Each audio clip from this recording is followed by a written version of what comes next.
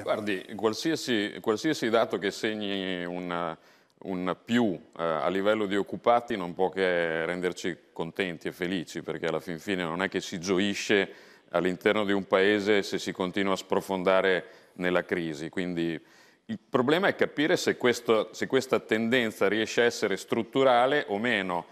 Eh, noi temiamo di no, per quale motivo? Perché l'operazione del Jobs Act è andata ad incidere, a nostro avviso, sulla parte del, diciamo, del costo del lavoro sbagliata, perché se io non ho occupati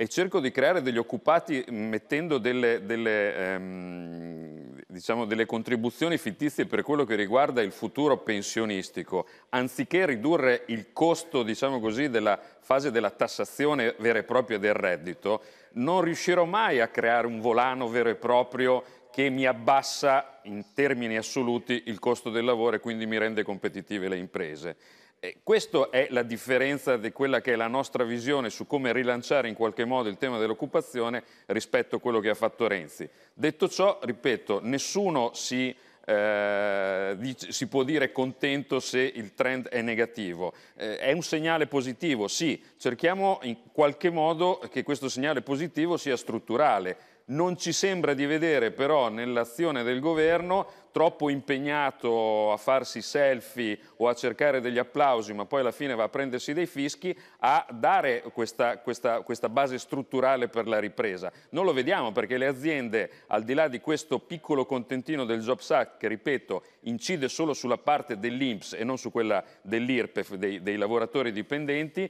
che sarebbe la parte più... Mh, mm, che, che costerebbe anche zero sostanzialmente allo Stato, anzi darebbe un gettito positivo, cioè, oltre questo non vediamo nulla di sostegno vero e proprio alle imprese perché continuano a essere tartassate da sistemi e da controlli che spesso e volentieri eh, si sovrappongono con i vari enti, eh, continuano a non esserci, non esserci un interlocutore unico all'interno dello Stato o all'interno degli enti locali per quello che riguarda lo sviluppo. Io ho l'esempio di un'azienda sul mio territorio che eh, vuole assumere 150 persone e sono sei anni che sta cercando di allargare il proprio stabilimento, ecco, se noi non arriviamo a, um, in qualche modo a, a, a velocizzare questo tipo di eh, sostegno allo sviluppo delle imprese, tutto quanto eh, è di positivo in questi Ho numeri capito. che vengono dati ogni tanto rischia di essere un fuoco di paglia.